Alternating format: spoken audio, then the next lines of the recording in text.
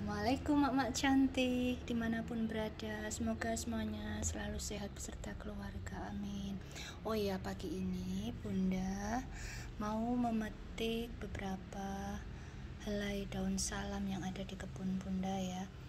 Pohon daun salam ini tidak sempat menjadi besar ya Meskipun sudah bertahun-tahun bunda pelihara ya Karena memang bunda selalu trimming ya pangkas terus ya.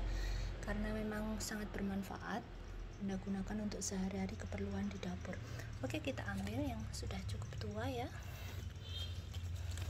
Satu ini ya macam ini ya yang sudah cukup tua. Rencananya pagi ini bunda mau gunakan untuk membuat masakan empis-empis ya. Ini masih ada beberapa.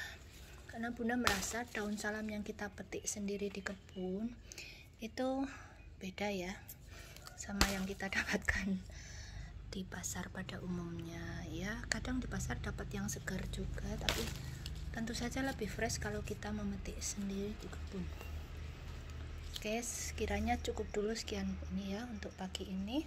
Oke kita lanjutkan untuk memasak empis-empis